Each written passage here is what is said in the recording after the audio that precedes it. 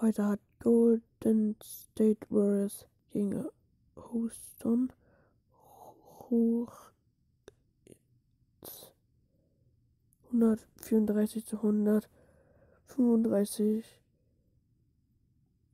hat Houston gewonnen. Ganz knapp. Der letzte Punkt hat entschieden. Und vielleicht die Anfangsszene hat auch vielleicht entschieden. Ne, da waren die anderen dominiert. Ähm, dadurch ist State Rears Dritter.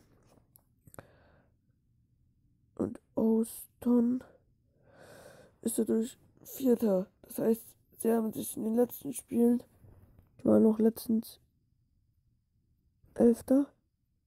Jetzt sind sie Vierter.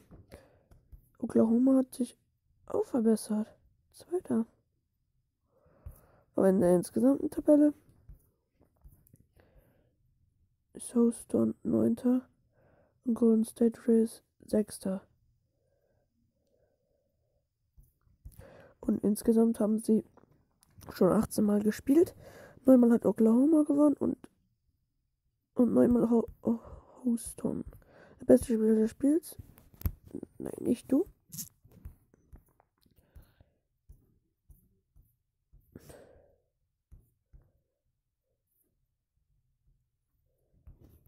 Und nicht du, sondern er hier. Er hat 46, 44 Punkte gemacht und 10 REB und 15 Assists.